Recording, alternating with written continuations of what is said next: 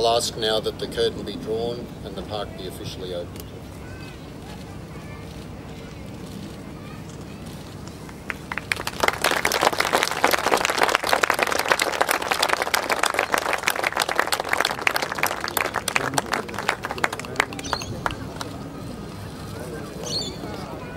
I'd ask Guy to make a presentation,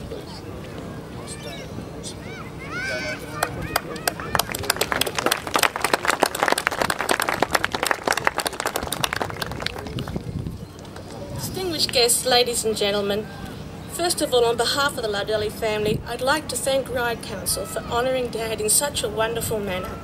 The naming of this beautiful park after Dad is so very appropriate for a number of reasons.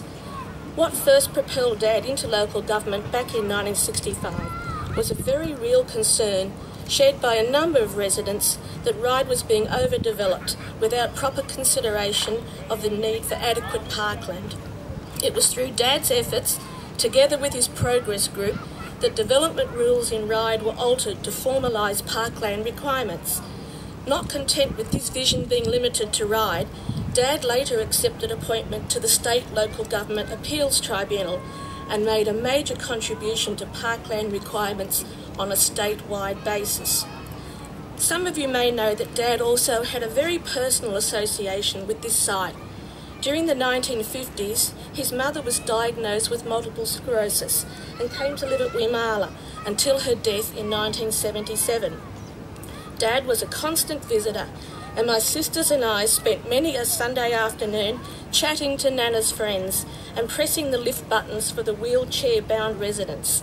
In retrospect, I'm not too sure how helpful that really was. Uh-huh.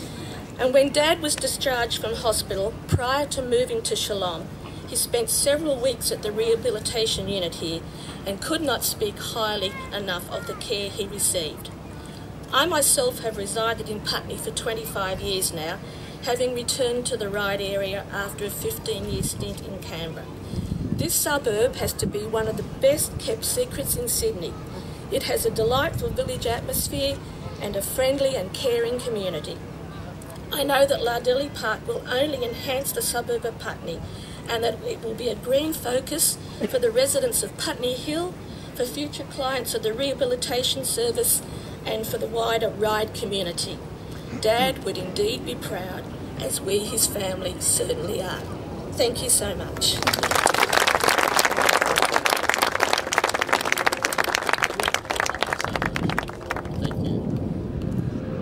Um, well, now we've finished the formal part of uh, this morning.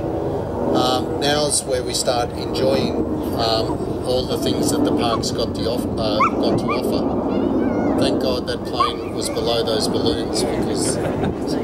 Um, be- before I close, firstly, again, I'd like to um, acknowledge our guests, uh, uh, John Alexander, our member for Bennelong, Victor Dominello. Thank you for coming, Victor. Um, uh, our councillors, Mayor Artin Etmekdjian, uh, Sarkis Yedelian, uh, Gabrielle O'Donnell, Justin Lee, Vic Tagg, uh, Ivan Petch, and Terry Perham. Um, and also our past councillors Edna Wild, Jim Hull, and Connie Netterfield. Um, thank you all. I'd also like to make a mention, if I could. Uh, this event was, like, I mean, the, the Frasers team, made up of Warwick, uh, who's our development manager, there he is over there, standing there, uh, Ari standing next to him, uh, Camilla, she's our chief marketing officer.